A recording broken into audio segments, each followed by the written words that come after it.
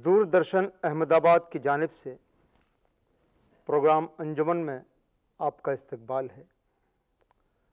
आज हम एक खसूसी प्रोग्राम लेकर हाजिर हुए हैं। इस प्रोग्राम की तारीख़ी और दस्तावेज़ी अहमियत है। आज हमने स्टूडियो में हमारे मुल्क के एक अहम नक्काद प्रोफेसर वारिस अलवी को गुफ्तु के लिए बुलाया है। वारिस अलवी की उर्दू तनकीद में बहुत बड़ी देन है, बहुत बड़ा कंट्रीब्यूशन है। उन्होंने अपनी बसीरत और फ़िक्र के ज़रिए उर्दू तनकीद का एक नया मैार कायम किया और उर्दू तनकीद को एक नई बुलंदी अता की। उन्होंने तनकीद के खारजार को अपनी फ़करेबाजी, जुमलेबाजी, बेबाक और दिलचस्प असलूब से लालाजार बनाया। उन्होंने अदब, समाज, तालीम, तहकीक, रियासती culture, high culture, popular culture, establishment और कमिटमेंट के लिए भरपूर अंदाज में लिखा। उनके मजामी का अदबी हलकों में इंतज़ार रहता है और उनके मजामी बहस के नए बाप खोलते हैं। उनके मजामी के मजमू के नाम भी नावल की तरह दिलचस्प हैं। कुछ बचा लाया हूँ, तीसरे दर्जे का मुसाफिर बुरजवाजी बुरजवाजी और के पारीना, मिनटो एक मताल हाली मुकदमा और हम। और ऐसी उनकी मुतद किताबें हैं। वारिस साहब एक बेमिसाल इंसान, जहीन, नक्काद और जादू बया मुकर हैं। उनके साथ बैठना, उनकी बातें सुनना, उनसे बातें करना एक तजुर्बे से कम नहीं। जब आप उनके साथ बैठे हों तो यूँ महसूस होता है जैसे आप एक तजुर्बे से गुज़र रहे हों और उनकी शख्सियत के हुस्न को हम अपने दिल की गहराई से महसूस करते हैं।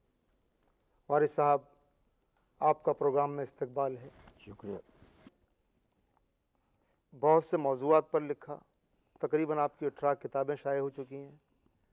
आपने मीर पर लिखा गालिब पर लिखा इकबाल पर लिखा राशिद पर मजीद अमजद पर मोहम्मद अलवी पर निदा फाजली पर मिंटो बेदी उपेंद्र नाथ अश्क बलवंत सिंह। तो क्या आप अपने काम से मुतमिन हैं? या खुद नक्कात की हैसियत से आप क्या कहना चाहेंगे अपने वर्क के बारे में? मैं अपने दूसरों ने तो बहुत कुछ लिखा। हाँ, आपकी राय आपके हम्म, मुतालिक हम्म। दी। मेरे मतलब मेरी राय बहुत अच्छी है, बहुत बुरी नहीं है राय।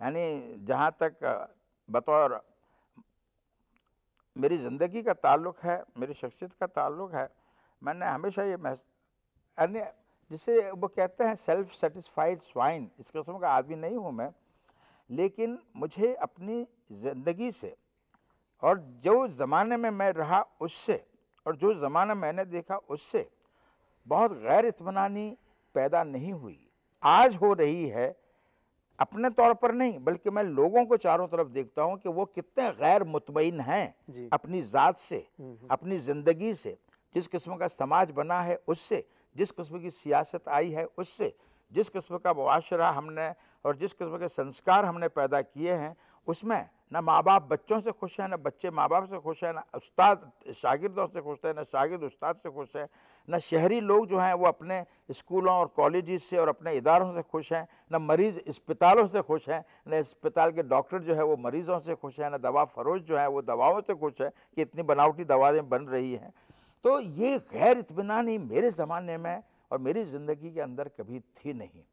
मुझे यहाँ पर एक तरह का बहुत सुकून रहा, बहुत इतमान रहा और मुझे ये महसूस होता रहा कि वाकई ये दुनिया जो है इतनी ख़राब नहीं है और इसमें ख़राबियाँ जो हैं उनको दूर किया जा सकता है।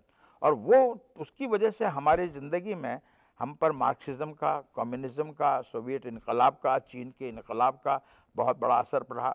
हम बड़े इनकलाबी रहे, खराब, समाज में से खराबियाँ दूर करने, मजहबी तंग नज़री को दूर करने भाव भेद को दूर करना, मंदिर मस्जिद की सियासत को दूर करना ये पाकिस्तान की और हिंदुस्तान की जो तकसीम हुई, उसके ख़िलाफ़ हम रहे, उसके ख़िलाफ़ हम लड़ते रहे। तो हमारी ज़िंदगी के अंदर ये था कि हम जानते थे कि क्या चीज़ें ख़राब हैं और वो ख़राब साबित हुई और उनकी ख़राबी के नतज आज पूरे चारों तरफ़ नज़र आ रहे हैं कि भाई ये ज़िक्र न करना, हिंदू मुस्लिम हिंदू मुस्लिम न करना, वरना इसकी बड़ी फाट पड़ेगी और वो फाट आज तक हमको नज़र आ रही है। तो हमारे ज़माने में ये सब चीज़ें थी नहीं। तो हमारे पास कुछ पॉजिटिव कदरें थी ज़िंदगी की कि मिसाल के तौर के ऊपर कि एक समाज जो है, उसको अकल्स के ऊपर चलना चाहिए रीज़नेबल होना चाहिए रैशनल होना चाहिए। समाज के अंदर बहुत अंधश्रद्धा नहीं होनी चाहिए, बहुत तोहमत नहीं होने चाहिए। औरतें जो हैं, उनको बहुत ज़्यादा वहमों के अंदर मुबतला नहीं होना चाहिए। मजहबी लोग जो हैं, उनका बहुत ज़्यादा त्रास नहीं होना चाहिए, बहुत ज़्यादा गिरफ्त और पकड़ नहीं होनी चाहिए।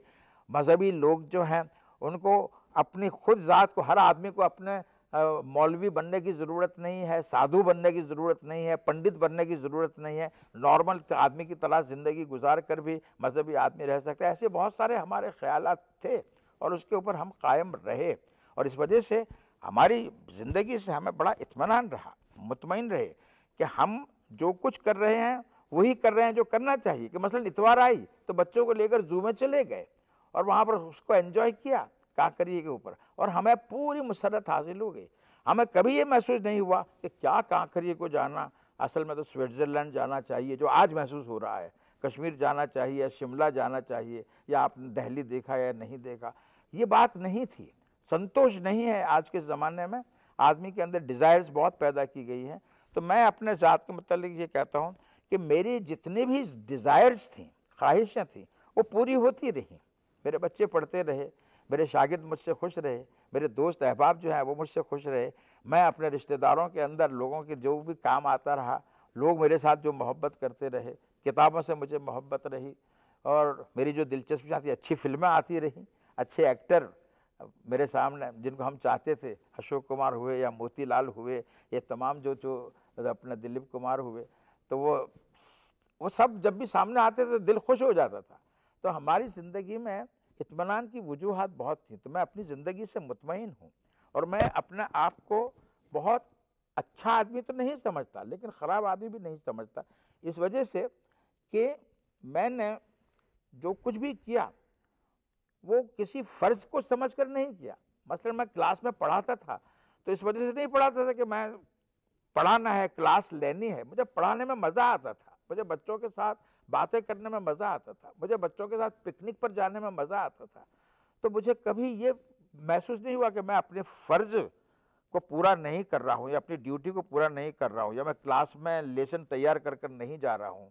बल्कि मुझे हमेशा ये खुशी होती थी कि मैं बीए में अंग्रेज़ी हिस्ट्री पढ़ाता था तो मैं आठ आठ दिन तक लेक्चर तैयार करता था। तो मुझे ये खुशी होती थी कि इस बहाने से मैं इतनी सारी हिस्ट्री पढ़ रहा हूँ और मैं जो पढ़ रहा हूँ उसके बाद फिर जाकर बहुत अच्छा लेक्चर करता था तो और खुशी होती थी कि इतना पढ़ा लिखा काम आ गया कि मैंने इतना अच्छा लेक्चर किया। तो इस माने में मैं अपनी ज़िंदगी से मुतमिन हूँ, अपनी ज़ात से मुतमिन हूँ। मुझे अपनी ज़ात से कभी नफ़रत नहीं हुई, जैसे कि आम तौर पर आज लोगों को ज़ात से नफ़रत हो जाती है या अपनी ज़िंदगी से नफ़रत नहीं हुई कि जो जो आजकल मैं देखता हूँ चारों तरफ़ हो जाती है। और इसलिए कि मेरी ज़िंदगी के जो छोटी मोटी जो ख्वाहिशें थी वो पूरी होती रही कुदरत ने आपको बहुत सी सलाहियतें आप में वदियत की हैं और आपकी लिमिटेशंस क्या हैं? यही मैं कह रहा हूँ आपका पहला जुमला ही गलत था वो कि कुदरत ने आप पे बहुत सी सलाहियतें दी। कुदरत ने मुझमें बहुत सी सलाहियतें नहीं दी। अच्छा। और कुदरत ने खुद मुझमें लिमिटेशन दिया। लेकिन उसी लिमिटेशन को मैंने लिमिटेशन नहीं समझा।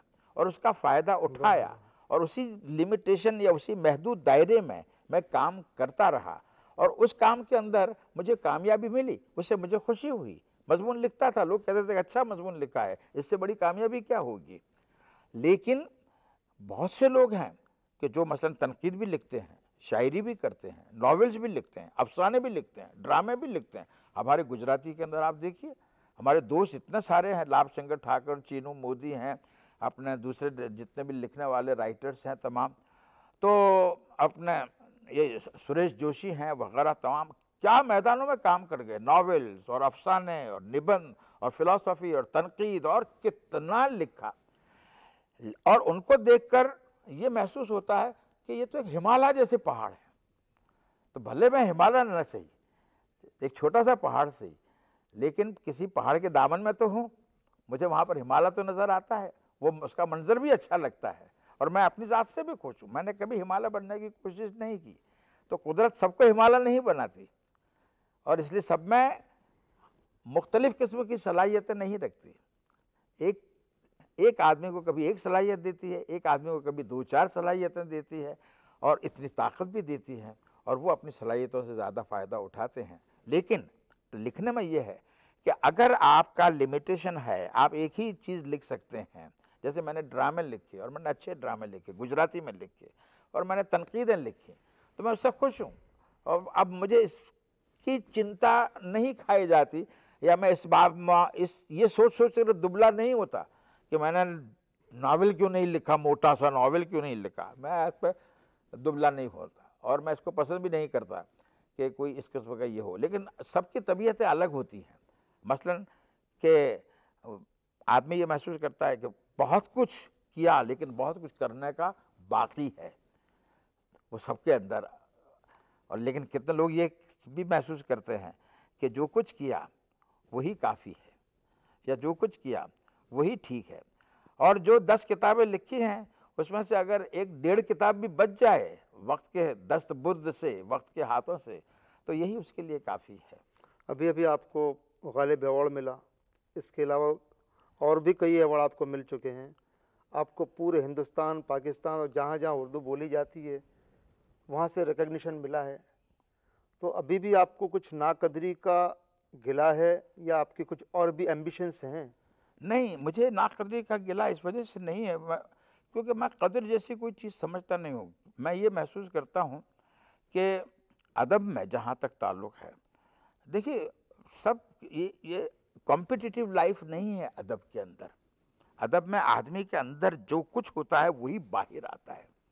उसकी सलाहियत के मुताबिक ही आता है। हर शायर अगर ये समझे कि मैं गालिब बन जाऊँ, वो नहीं बन सकता है। और अगर वो ये महसूस करे कि चूँकि मैं गालिब नहीं हूँ, इसलिए कुछ भी नहीं हूँ तो वो जो कुछ भी है, उसकी भी कोई कीमत नहीं रहेगी। इसलिए अदब में भी अलग अलग चीज़ें होती हैं। मुझे नाकदरी का एहसास इसलिए नहीं होता कि जो भी मैंने लिखा मैं जानता था मैं मुझे लिखते वक्त महसूस होता था कि बहुत अच्छा है। ये बहुत खूबसूरत प्रोज लिख रहा हूँ मैं। ये ये गद्य है, ये सुंदर है, ये जुमला लिखा है, ये बहुत अच्छा है, ये फ़िक्रा लिखा है, ये बहुत अच्छा है। और ये ख्याल मेरे जैसे बड़ा भद दिमाग आदमी में ऐसा अच्छा ख्याल कहाँ से आ गया?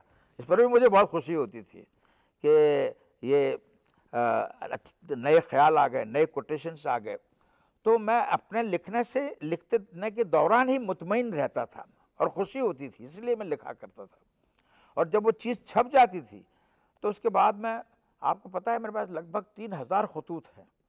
तो फ़ौर मेरे पास खतूत आते थे। आपके पूरे हिंदुस्तान से पाकिस्तान से इंग्लैंड से अमेरिका से क्या आपका वो मजमून पढ़ा क्या बेमिसाल मजमून लिखा है क्या खूबसूरत नसर लिखी है क्या लिखी है। तो मुझे अपना सिला मिल जाता था। आदमी का सिला क्या होता है? आदमी गाने बैठता है और उसी वक्त वो देखता है कि एक आदमी पर एक वज्र तारी हो रहा तो वो समझता है कि उसकी आवाज़ का जादू, उसकी संगीत का जो शहर है, उसके ऊपर चल रहा है और उससे वो खुश हो जाता है कि अल्लाह ने जो उसे सलाहियत दी है, उससे उसने काम लेकर किसी के ऊपर जादू किया। आप एक बेहतरीन अदीब और नक्काद होने के अलावा एक जादू बयां मुकर हैं।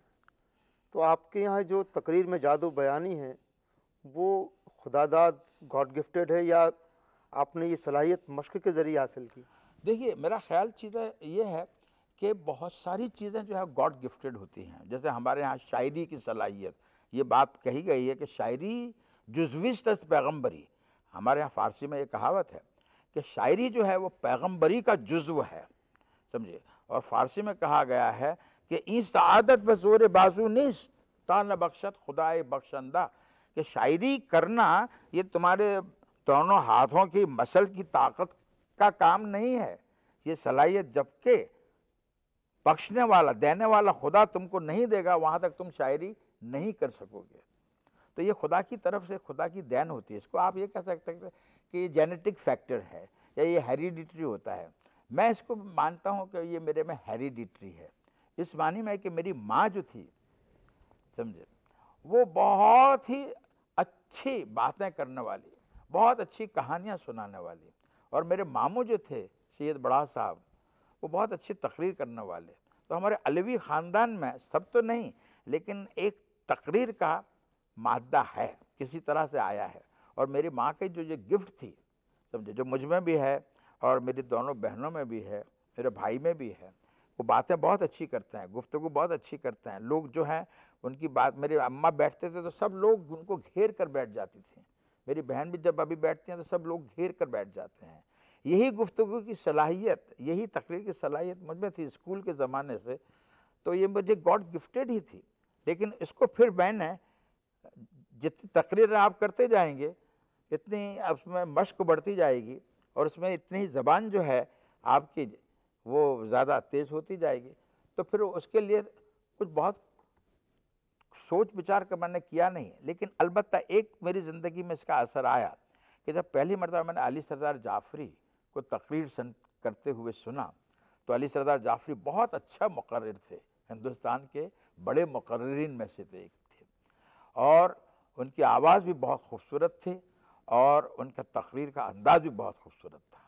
तो मैंने ये सोचा कि तकरीर का तो यही अंदाज़ जो है वो लेना चाहिए। और मैंने अपनी तकरीर को अली सरदार जाफरी की तकरीर के अंदाज में ढाला और उसके अंदर से अपनी इनफरादियत आप पैदा कर ली। तो ये गॉड गिफ्टेड तो है ही लेकिन इस तरह से मश्क से और इसमें कुछ जादू बयानी आप जैसा कहते मौजूदा सियासी और समाजी सूरत हाल से आप मुतमिन हैं। अगर नहीं तो आपका किस समाज के आप ख्वाहिशमंद हैं? मुझे आप ये बताइए कि दुनिया में हिंदुस्तान में और पाकिस्तान में और पूरी दुनिया में जाकर किसी भी आदमी से आप ये सवाल पूछिए कि आज की दुनिया से आप मुतमिन हैं हज़रत? तो वो जो जवाब देता है उसके बाद ये सवाल आप मुझसे कीजिए कि जो दुनिया में आप रह रहे हैं हम रह रहे हैं जिस किस्म की चीज़ें आफात खुदाबंदी या अजाब खुदाबंदी भी हम देख रहे हैं चाहे वो समंदरों के तूफ़ान हों, चाहे वो भौचाल हों, जिस किस्म का भ्रष्टाचार और करप्शन हम देख रहे हैं, जिस तरह के आदमी के किरदार के अंदर जवाल हम देख रहे हैं, जिस तरह से आदमी के शख्सियत के अंदर जवाल देख रहे हैं, जिस तरह से आदमी झूठ बोलता है, साफ़, सुथरा, झूठ, टीवी के ऊपर आकर स्टेटमेंट में देता है। और हम जानते हैं कि झूठ बोल रहा है, लेकिन उस झूठ को वो सच समझ रहा है। इस किस्म की दुनिया में, चाहे वो अमेरिका हो चाहे वो इंग्लैंड हो, यूरोप हो, क्या कोई भी आदमी आज की दुनिया से खुश है? नहीं है। क्योंकि ये दौर जो है, इसको पोस्ट मॉडर्निज्म का दौर कहते हैं। हमारा जो ज़माना था, वो मॉडर्निज्म का जदीदियत का, आधुनिकता का दौर था। उस ज़माने में हम महसूस करते थे कि आधुनिक युग के अंदर साइंटिसिज्म की वजह से रैशनलिज्म की वजह से डेमोक्रेसी की वजह से सोशलिज्म की वजह से, हम इस दुनिया को जन्नत बनाकर रहेंगे। ये हमारे ख्वाब थे, हमारे बागियों के और इनकलाबियों के ख्वाब थे। और हम यहाँ पर समाजी ऊंच नीच को ख़त्म करेंगे, समाजी छूत छात को ख़त्म करेंगे। औरत मर्द के अंदर जो भी एक दूसरे पर बरतरी है और जुल्म है, उसको हम ख़त्म करेंगे। बच्चे जिनको बचपन नहीं मिलता है और वो चाइल्ड लेबर के अंदर चले जाते हैं, उसको हम ख़त्म करेंगे।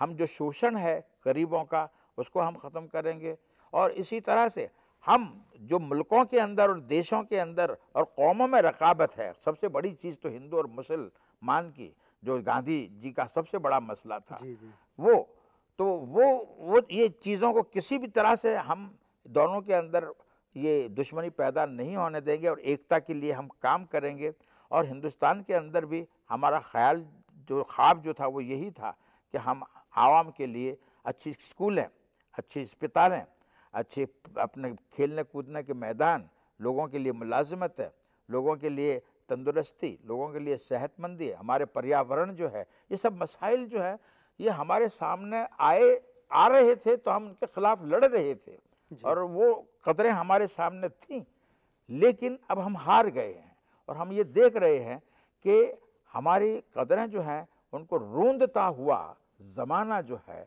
अपने तौर के ऊपर धमकियाँ देते हुए, एटम बम की लड़ाई की धमकियाँ देते हुए, दूसरे मुल्कों पर हमला करते हुए, दूसरे मुल्कों को ख़त्म करते हुए, डेमोक्रेसीज को ख़त्म करते हुए, पार्टीज़ अपनी सियासत, अपने फ़ायदे के लिए लोगों को मरने, मारने पर कत्ल गारत गरी तबाहगरी के ऊपर जा रहे हैं, उस वक्त ये महसूस होता है कि ये समाज तो अच्छा है ही नहीं। और जो अच्छा समाज कौन सा हो सकता है? उसका तस्वुर अभी भी है हमारे जहन में। जो पहले से हमने हमारे जर, जिस ख्वाब को हमने हमारी जवानी में परवान चढ़ाया यूटोपिया हो गया होगा सर वो ख्वाब अभी भी हमारे जहन में है वो यूटोपिया नहीं है। वो यूटोपिया नहीं है सिर्फ़ ये है कि सिर्फ़ बुराइयों को दूर करना। मिसाल के तौर पर अगर एक शख्स अब बीमार है तो उसको बीमारी को दूर करना उसको तंदुरुस्त बनाना। समाज अगर बीमार है तो समाज की बीमारियों को दूर करना और समाज को सेहतमंद बनाना। तो ये सेहतमंद बनाना ये यूटोपिया फ़िक्र नहीं है बल्कि ये तो एक मेडिकल फ़िक्र है कि हाँ बीमारी को दूर कीजिए और इसको सेहतमंद बनाइए। सब इस सूरत हाल में इंसान की खुशी और मसरत के लिए उसके कौन से सर चश्मे उसके पास अभी हैं? उसके पास सर चश्मे इस ज़माने में खुशी और मसरत के बहुत बहुत ज़्यादा भी हो गए हैं और जितने ज़्यादा हुए हैं इतने कम भी हो गए हैं। क्योंकि ज़्यादा होने का ये एक बहुत कॉन्ट्राडिक्शंस हम पैदा हो गए अब इतने मुख्तर सी मजलिस में तो हम इसके ऊपर बहुत पूरी बहस नहीं कर सकते हैं। लेकिन उसके इस दुनिया में खुश रहने के जो भी सर चश्मे हैं, अब जैसे टीवी आई तो टीवी के ज़रिए से वो बहुत सी खुशियाँ हासिल कर सकता है। लेकिन आप टीवी के अंदर आप देखिए कि जिस किस्म की सीरियल्स आती हैं, उससे आदमी औरतों से इतने डर गए हैं कि शादी करने का ना कहते हैं। बच्चे बच्चे खुद इतने सीरियल खौफ ज़्यादा हो गए कि ऐसी औरतें हमारे यहाँ आ गई तो हमारा क्या होगा? हम शादी नहीं करेंगे। तो टीवी आपके लिए खुशी भी लाया और उसके साथ ख़राब चीज़ भी लाया। हर चीज़ के हमारे यहाँ पर नेगेटिव आस्पेक्ट्स बहुत ज़्यादा मल्टीप्लाई हो गए। पॉजिटिव आस्पेक्ट एक ही रहा नेगेटिव आस्पेक्ट बहुत ज़्यादा। यानी दवा का फ़ायदा कम हुआ, उसके आफ्टर इफ़ेक्ट्स बहुत ज़्यादा हो गए। और वो आफ्टर इफ़ेक्ट से हम अभी तक जूझ रहे हैं जैसे गुजराती में कहते हैं कि उसके ख़िलाफ़ हम जद्दोजहद कर रहे हैं। इसलिए आज के ज़माने में आदमी जो है उसको इसलिए आप देखिए आज के ज़माने में बहुत सारे अल्फाज काम नहीं कर रहे। जैसे मसलन जेंटलमैन का लफ्ज़ शरीफ आदमी का लफ्ज़ अच्छे आदमी का ये अल, अल्फाज मतरूक हो गए। शरीफ आदमी अच्छा उस्ताद अच्छा आदमी नोबल मैन ये कहाँ है अल्फ़ा? सब आपकी नज़र में शरीफ इंसान की तारीफ़ क्या है? अब मेरी नज़र में तो जो तारीफ़ थी वो तारीफ़ मेरी नज़र में ही रही मेरे दिमाग में ही रही। आदमी तो गायब हो गया। शराफ शरीफ तो गायब हुआ पर साथ में आदमी भी गायब हुआ। आदमी की जगह बहुत कुछ तो आप टीवी के ऊपर इतने ज़्यादा जराइम की सीरियल शुरू हो गई हैं कि आदमी हैवानी और वो खुद कहते हैं कि देखिए आदमी हैवान बन जाए तो। तो हम तो अब टीवी के ऊपर यही देखते हैं। कि आदमी हैवान बन रहा है।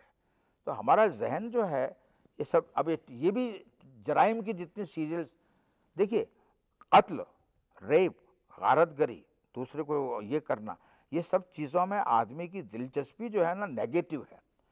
आदमी इसीलिए, हम तो लिटरेचर इसीलिए पढ़ते थे कि उसमें दुनिया की बड़ी से बड़े ड्रामे पढ़े, बड़े से बड़े नावल पढ़े, शेक्सपियर और टॉल्स्टर और दोस्तोविस्की और बालजाक और हेमिंग और इन लोगों के साथ में रहे हमारी सोबतें हमारी सोबतें ये मर्डर्स करने वाले ये रेप करने वाले ये सीडीज उतारने वाले ये भ्रष्टाचार करने वाले ये कौभांड करने वाले ये सब लोगों के साथ हमारी दिलचस्पी नहीं थी। बड़े अगर ये चीज़ अगर ये क्राइम समाज में होते भी थे तो होते थे। लेकिन अब तो ये क्राइम्स मास मीडिया के ज़रिए इतना आम हो गए हैं कि लोग यही समझते हैं कि पूरी दुनिया जो है इस कस्बे की बन गई है। तो हमारी दिलचस्पी जो है, आदमी को वैसे भी आप खबर, अखबार में भी देखें, जहाँ कत्ल का होगा, आपघात का होगा, या भ्रष्ट, अपना ये व्यभिचार का होगा तो उसकी खबर में उसको दिलचस्पी होगी। इसलिए पेपर वाले भी कहते हैं कि अच्छी अच्छी खबरों से तो हमारा पेपर चले नहीं साहब इसके ऊपर जब तक अच्छी कातिलाना खबरें ना हो, तब तक हमारा पेपर चले भी नहीं। लेकिन वो अब इतना आम हो गया है कि इस ज़माने में किसी के मतलब ये कहना कि वो अच्छा आदमी है। वो शरीफ आदमी है। इसीलिए अंग्रेज़ी में जिस तरह से the fall of the intellectual हुआ है इसी तरह से फॉल ऑफ़ द जेंटलमैन भी हुआ है। ये इंतज़ार हुसैन ने भी अपने नावल में ये बात कही थी कि मैं किसी को शरीफ कह सकूँ आज के ज़माने में ऐसा कोई आदमी मुझे नज़र नहीं नहीं। आता। इसलिए अब इन टर्म्स में हमें बात ही नहीं करनी चाहिए उनका तो ये कहना था। आपको अपनी ज़िंदगी का तजुर्बा क्या आपका रहा? ये ज़िंदगी आपको कैसी लगी? और इस उम्र में आप क्या महसूस कर रहे हैं ज़िंदगी के बारे में? ये तजु, तजुर्बा जो है ये ये बताना बहुत मुश्किल है। कभी कभी तो ये महसूस होता है कि इस कि इस दुनिया के अंदर आए अब वो पूरा एग्जिस्टेंशियल फिलॉसफी आ गई वजूदी फ़लसफ़ा आ गया उसके अंदर कहते हैं कि दुनिया में आए नहीं फेंके गए हम। आदमी फेंका गया। फेंका गया। The man is thrown is is an outsider in this world ऐसी ऐसी बहुत सारी बातें आती हैं। लेकिन बहरहाल, इस दुनिया में हम आए और इस दुनिया का तजुर्बा हमें इतना बुरा नहीं लगा। आदमी ने जो कुछ अपनी कोशिशों से इस दुनिया को बनाया था कुदरत ने जो बनाया था तो नेचर भी बहुत फेवरेबल तो नहीं थी आदमी के लिए। वो इकबाल ने जो कहा है कि, कसूरवार, गरीब दयार हूँ, लेकिन तेरा खराबा फरिश्ते न कर सके आबाद। तो अल्लाह ताला ने जो ये दुनिया में खराबा बनाया था, उसको आबाद भी तो इंसान ही ने किया। तो इंसान ने जिस किस्म की दुनिया बनाई थी, उसने इस दुनिया को अपने लिए दिलचस्प और रहने के काबिल बनाने के लिए जिस तरह से उसने सड़कें बनाई, मकानात बनाए, गाँव बनाए, इमारत बनाई, इसी तरह से उसने अपनी ज़बान के ज़रिए से शायरी पैदा की, नावल पैदा किए, कहानियाँ लिखीं, अफसाने लिखे, ड्रामे पैदा किए मौसीकी पैदा की रक्स पैदा किए नाच पैदा किए ये तमाम सब चीज़ों में ये सब तख्लीकी क्रिएटिव सृजनात्मक प्रवृत्तियाँ हैं हाँ, सरगर्मियाँ हैं। इसमें कोई चीज़ खर्च नहीं होती। शायरी करने में आपको कुछ जाकर किसी पंसारी की दुकान से सौ रुपए के काफिए या प्रास लाने नहीं पड़ते बल्कि घर बैठे हुए आप शेर लिख सकते हैं। तो ये कल्चर के ज़रिए जिसमें आदमी को किसी मटेरियल चीज़ की ज़रूरत नहीं रहती, उसने अपनी ज़िंदगी को खुशगवार बनाया। बच्चे पैदा हुए तो उसने लोरियाँ गाईं, मेहनत करने के खेत में जाना पड़ता था उसे तो उसने मेहनत के गीत गाए और उसने शादियाँ आई तो लग्न के गीत गाए। कोई मर गया तो मर, मरसिए गाए और उसके ऊपर आँसू बहाए। तो इस दुनिया को उसने रहने के काबिल बनाया था अपने कल्चर के ज़रिए से। एक छोटा सा दिया जलाकर माता को याद किया जाता और दस दिन तक गरबे गाए जाते और गाँव गाँव, एक एक शेरी, एक एक पोल, एक एक महल्ले में बूढ़ी औरतें, बच्चे, जवान लड़कियाँ, जवान लड़के सब मिलकर गरबे गाते और खर्च क्या होता? सिर्फ़ एक दिया जलाने का और ज़्यादा खर्च नहीं होता। और उसको वो कल्चर जो था, उसके ज़रिए से आदमी ने खुश रहने की कोशिश की। ये सब चीज़ें आज के ज़माने में कमर्शियलाइज हो गई। और कमर्शियलाइज होने की वजह से आज का हमारा लिटरेचर जो है, हमारा कल्चर जो है, वो भी रशिया वगैरह में, वहाँ पर स्टेट कल्चर बन गया, यहाँ पर कॉमर्शियल कल्चर बन गया कैपिटलिस्टिक कल्चर बन गया, पैसों के ज़रिए से ख़रीदा जाने वाला बन गया। तो जो खुश रहने के ज़रिए थे उसके पास में, वो भी उसके पास नहीं रहे। आपको ताजुब होगा कि लाइब्रेरीज में लोग जा नहीं पाते क्योंकि अब फासले बहुत हो गए हैं। और किताबें खरीद नहीं सकते क्योंकि किताबें महँगी बहुत हो गई हैं। तो आप चल अली साहब एक आखिरी सवाल वक्त इजाज़त नहीं देता? वक्त को कहिए कि ठहर जाए। हाँ। आप इस उम्र में क्या खुदा आपकी उम्र दराज करे? आप अब इससे भी कितनी खुदा भी कितनी दराज करके करेगा। हाँ। कि आप क्या चाहते हैं? कि आपको आपके बाद लोग किस तरह याद करें? एक अच्छे इंसान की हैसियत से। एक अच्छे दानश्वर की हैसियत से या एक मुफक्र की हैसियत से। मैं मैं नहीं समझता। मुझे, मेरे फीलिंग ये है कि मरने के बाद में आदमी को बहुत आसानी से भुला दिया जाता है। और एक ज़माना था जबकि एंसेस्ट्रल वर्शिप होती थी, अपने पूर्वजों की पूजा की जाती थी और पूर्वजों को याद किया जाता था। और इस तरह से जो पूर्वजों का एक असर रहा था, वो आज के समाज में और आज के इंसान में है नहीं। इसलिए आज का आदमी न तो अपने दूसरी ज़िंदगी के बारे में सोचता है, न बहुत कुछ हयात बातुल मर्ग के बारे में सोचता है, न बहुत कुछ मरने के बाद उसका क्या होगा उसके बारे में सोचता है। बहुत आसानी से लोगों को भुला दिया जाता है। और भुला दिया, हमने भी बहुत सौ को भुला दिया, इसलिए हमें भी लोग भुला देंगे तो हमें किसी, कोई गम नहीं होगा। और हमने कोई ऐसा कारनामा नहीं छोड़ा है जिसकी वजह से हम बहुत ज़्यादा याद किए जाएँगे। और अगर याद किए जाएँगे तो हमारी कुछ चंद तहरीरों की वजह से जिसकी ज़रूरत लोगों को पड़ेगी जिसको पढ़कर वो खुश होंगे तो वो कहेंगे कि हाँ कोई वारिस अलवी साहब जैसे भी थे जिन्होंने अपने ज़माने में तो बहुत लंतरानियाँ की लेकिन हमारे लिए उनकी लंतरानी तो बड़ा कारनामा है हमेशा याद रखे जाएँगे। इसी के साथ आज की महफिल ख़त्म हुई। खुदा हाफिज़।